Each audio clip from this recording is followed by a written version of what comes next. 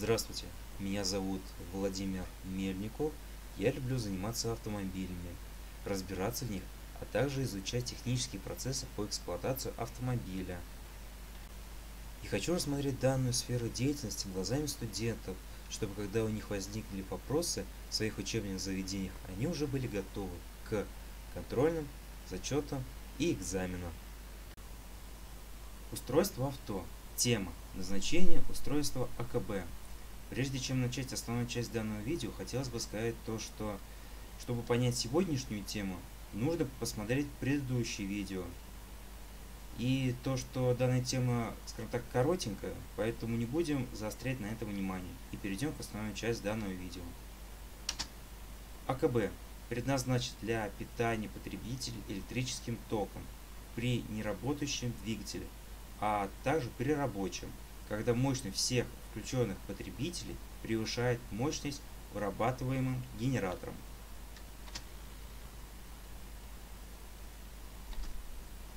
Основным назначением АКБ является питание стартера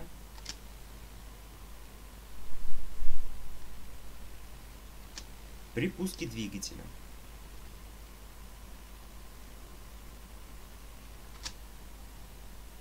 Различают два вида АКБ – щелочные и свинцово-кислотные.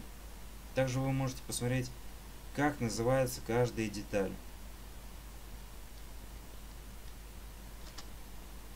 Рассмотрим свинцово-кислотный АКБ. Называют стартерными, так как в период пуска двигателя они работают почти в режиме короткого замыкания, отдавая ток большей величины, это примерно 600-800 ампер, при незначительном падении внутреннего напряжения. АКБ состоит из следующих элементов.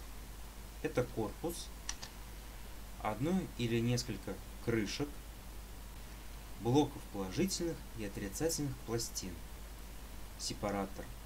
На данном изображении вы можете увидеть, как это все сделано в одной монодетали и подписано блок положительных пластин и отрицательных и сепаратор и электролит. Корпус АКБ можно изготовить из эбонита, термопласта и других видов пластмассы. Пластины изготавливают в виде решетки из свинца. 92-94% свинца, 6-8% мышьяка, 0,1% сурьмы, отрицательных пластин в каждой банке на одну больше, чем положительных.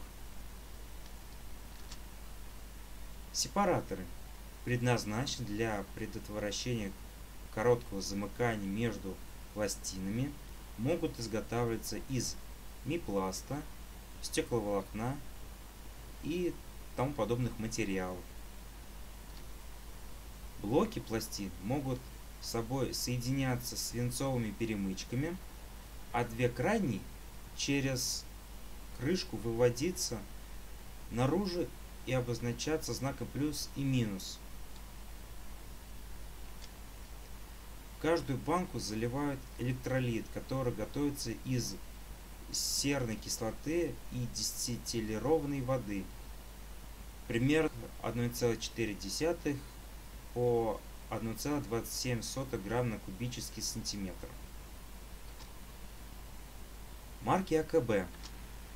Ну, сам приведу самый простой, самый распространенный. Это 6ST65M, где цифра 6 это количество банок в аккумуляторе. Буква ST это стартерный обозначение. 65 емкость АКБ в ампер-часах при 20-часовом цикле работы. ЭМ материал сепаратора.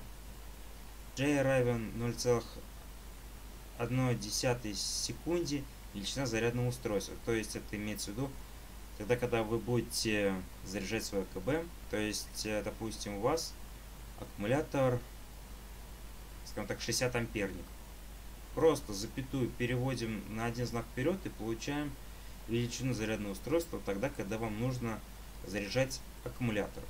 Ну, такие моменты я опять-таки буду затрагивать э, гораздо позже, то есть в будущем уже, скажем так, когда будет практика, и, мы, и там я буду акцентировать на этом внимание. Ну, на этом все. Всем спасибо и до новых встреч!